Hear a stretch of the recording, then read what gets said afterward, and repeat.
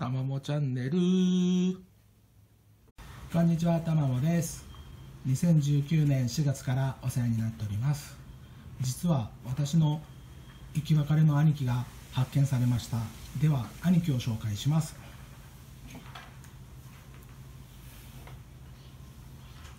こんにちは兄貴です。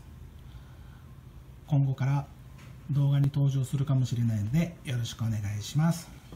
兄貴です。皆様応援の方よろしくお願いします。こんな感じですね。王冠もついていますのでよろしくお願いします。じゃあね